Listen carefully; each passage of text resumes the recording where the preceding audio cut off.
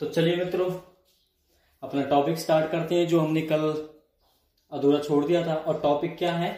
Asexual reproduction के type पढ़ रहे ठीक है?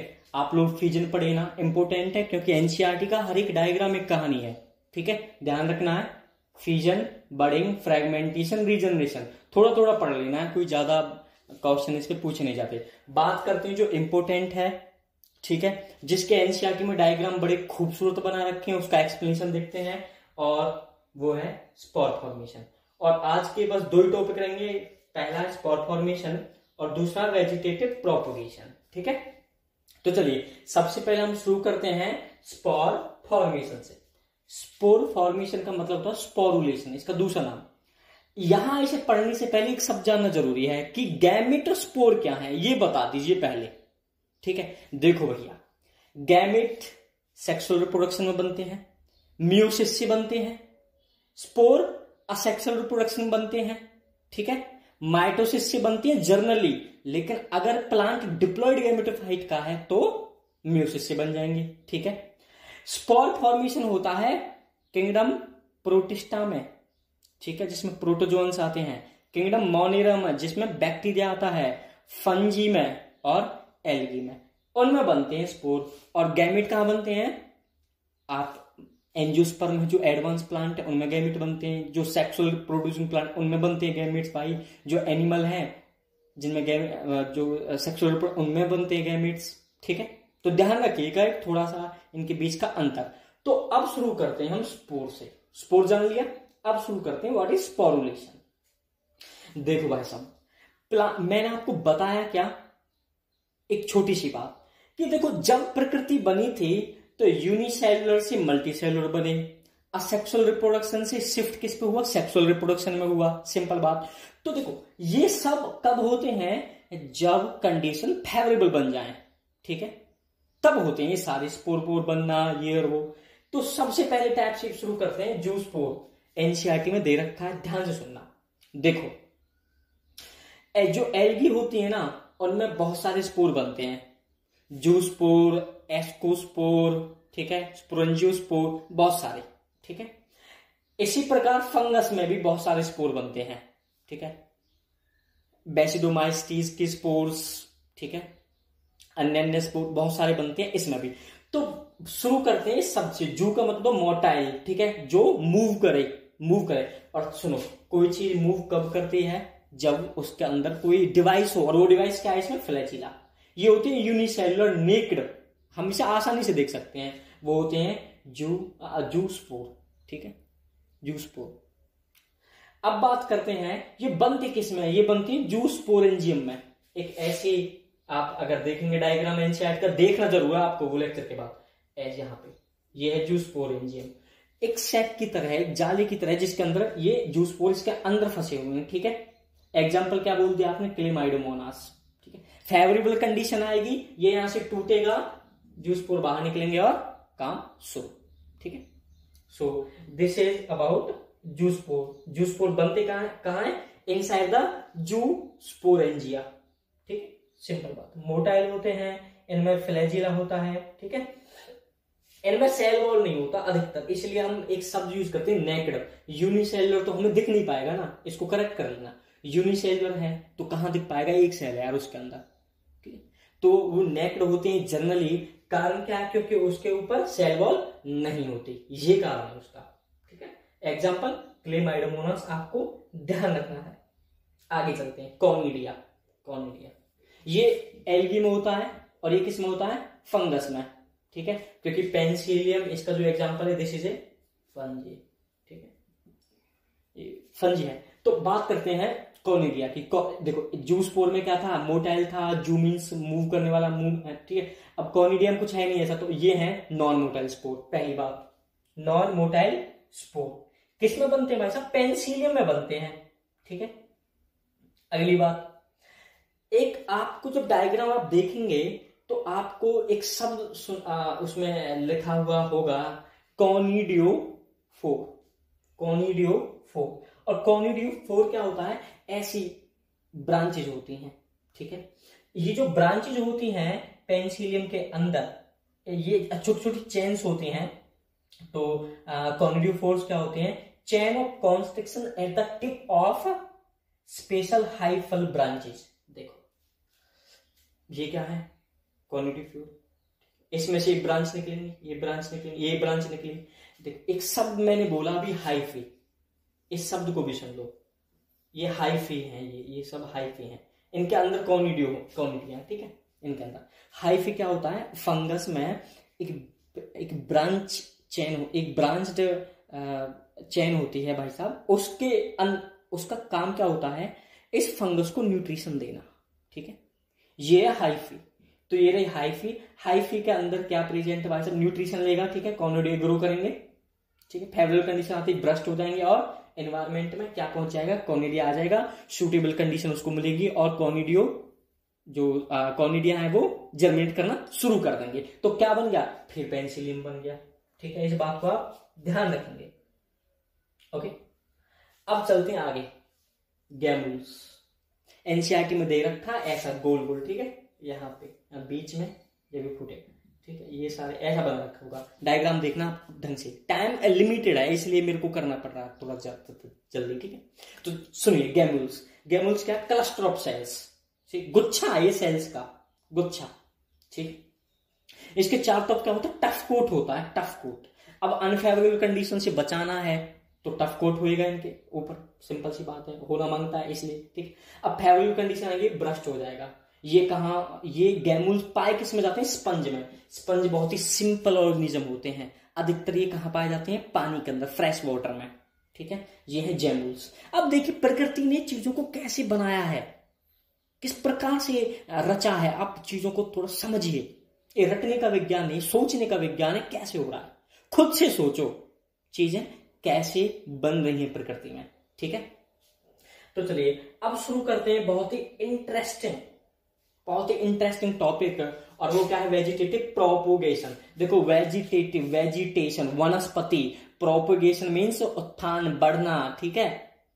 अब शुरू करते हैं। देखो, एक ऐसा असेक्सुअल रिप्रोडक्शन प्लांट के अंदर, जहाँ पे जो प्लांट का वेजिटेटिव पार्ट होता है ना वेजिटेटिव पार्ट कह लो वेजिटेटिव प्रोपेग्यूल कह लो, उनसे क्या बने प्लांट बन जाए पूरा।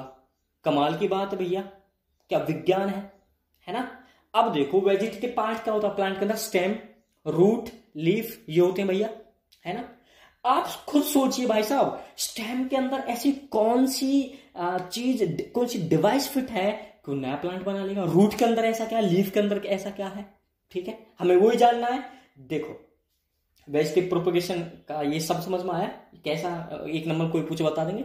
The type of reproduction the type of asexual reproduction in plant in which in which new plants are found from the vegetative part such as stem, root and leaves. खाली बात खत्म? अब सुनो भैया, ये किसमें होता कॉमनली एंजियोस्पर्म होता है। एंजियोस्पर्म क्या होते हैं? जो फ्लावर एडवांस प्लांट जो फ्लावर जिनमें फ्लावर होता है, वो एंजियोस्पर्म होता है। अब बात करेंगे स्टेम रूट लीफ की। इनमें है क्या? कैसे बनेगा? तो सबसे पहला एग्जांपल ले लेता हूँ मैं। अंडरग्राउंड स्टेम ठीक है? पृथ्वी के अंदर। ठीक है? सॉइल के अंदर जो है। मेरे भाई स्टेम के पास एक खास एक्टिविटी है और वो क्या? मैरी स्टेम एबिलिटी ये जो मैरी स्टेम वाली एबिलिटी है ना उसके अंदर, इनमें सेल डिवीज़न तेज़ी से होता है और ये आगे ग्रो करते हैं। इसीलिए अंडरग्राउंड स्टेम में क्षमता है नया प्लांट बनाने की। हम लोग करते नहीं है कि यार कोई प्लांट अपने आप हो गया। ठीक है? आप आलू रखे थे, भाई साहब, उसे थोड़ा मॉइस्चर मिला, अपने आप स्टार्ट हो गया। ठीक है? क्योंकि वो क्या अंडरग्राउंड स्टेम उसमें क्या मेरिस्टमेटिक एबिलिटी तो चलिए, सबसे पहला इसमें एक वो देखते हैं कि अंडरग्राउंड स्टेम का कौन सा पार्ट तो पहले नंबर पर मैंने लिखा बल्ब्स ठीक है? बल्ब्स ऐसा होगा, प्याज और गार्लिक दोनों आप देखें, संरचना तो ऐसी होती है ना बल्ब की तरह। इन दोनों के अंदर पाए जाते हैं बल्ब और बल्ब के ये है अंडरग्राउंड स्टेम अपन लोग धरती में बोलते हैं नाम को ठीक है? वो स्टार्ट हो जाते हैं, क्योंकि उनके अंदर मेस्टेम एबिलिटी बल्ब के अंदर, वो ओनियन बनना गार्लिक बनना शुरू। दूसरे नंबर पर ट्यूबर ट्यूबर या आइज़ ठीक है? पटाटो में। आलू में देखा आपने? एडवेंटिशियस आइज़ देखा है? ठीक है? उनसे एडवेंटिशियस आइज़ क्या होता है? और बर्ड्स एडवेंटिस बर्ड्स क्या होता है? उनसे ही ना नया प्लांट आना शुरू हो जाता है। क्योंकि देखो, एक आलू है। आपने बो दिया या रखा है आपके टोकरी में तो होगा क्या? भाई, वो जो आलू है, उसके अंदर स्टोर फ़ूड है। फ़ूड होगा उसका। कोई चीज़ आगे कब बढ़ती जब फ़ूड हो, आप आगे कब बढ़ेंगे? जब खाने को कुछ हो, एनर्जी हो शरीर में, ठीक है? तो ट्यूबर के अंदर क्या है? स्टोरेज ऑफ़ फ़ूड, ठीक है? ट्यूबर के अंदर। वो वो एडवेंटिस बर्ड्स को आइज़ को, ट्यूबर्स को क्या देगा? ट्यूबर क्या देगा उनको? एडवेंटिस आइज़ को फ़ूड देगा और वहाँ से ही स्टार्ट हो जाएगा पटाटो का प्लांट बनना। कमाल की चीज़ है। बात करते हैं राइजोम की। आप आप अदरक देखो जिंजर? स्ट्रक्चर देखिए उसका।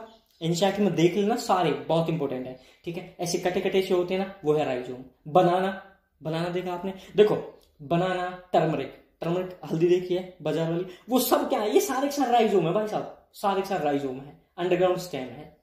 सॉइल के अंदर होते हैं। ठीक है? अब आप कहेंगे बनाना। साहब, कैसे हुआ? देखो, बनाना की जो आप धरती से ऊपर दिखता है ना सॉइल से ऊपर, वो सारा का सारा लीफ होता है उसका। ऐसे गुछा हुआ होता है। ठीक? है बिल्कुल आपस में गुथा हुआ। सब वो लीफ है बिल्कुल। आप उसे तोड़ जाएँगे, लीफ ही मिलेगा। नीचे आपको राइजोम मिलेगा ऐसा, ठीक है? ऐसा रचना होती है, जिग जैग से। वो है राइजोम। अब बात करें शक्कर की। पुदीना पुदीना में शक्कर होता है। मान के चलिए, ये है पुदीना, ये रहा, ठीक है? ये रहा भैया पुदीना। तो ये है उसकी जड़। तो ये है, जो ये है ये है जड़ उसकी। तो यहाँ से एक ऐसी आपको, आप, ये लाइन से दिख ये है शक्कर भाई।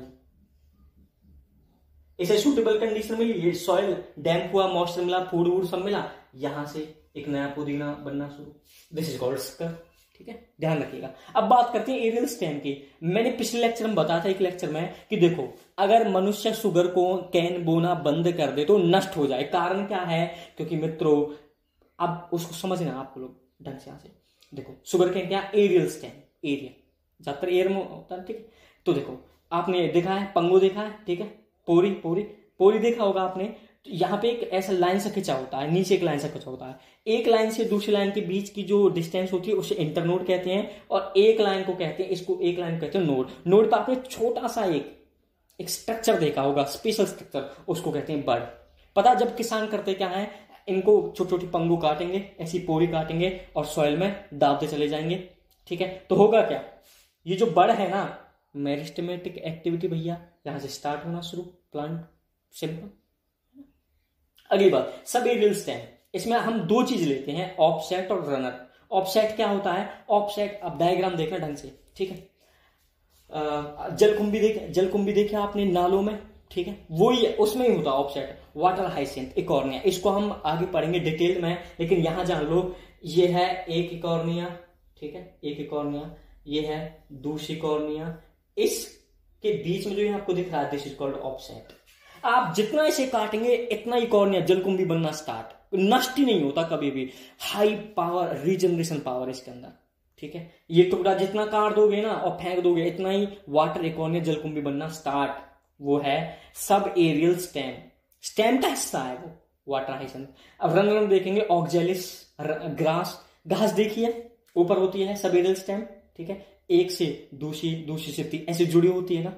बिल्कुल सॉइल को ऐसे गूद के रखती है, ठीक है? So this is runner Oxalis Oxalis भी ऐसा तो छोटा ही, वो भी ऐसे बाँध के रखता है चीज़ों को।